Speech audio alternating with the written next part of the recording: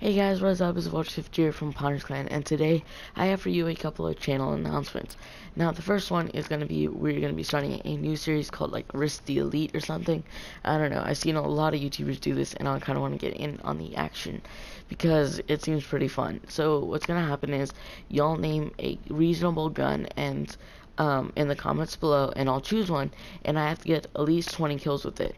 If I in TDM, if I don't, or in free for all, y'all can also name the um, the game mode. If I don't, I have to delete an elite, and the first elite that I'll be deleting is the insanity.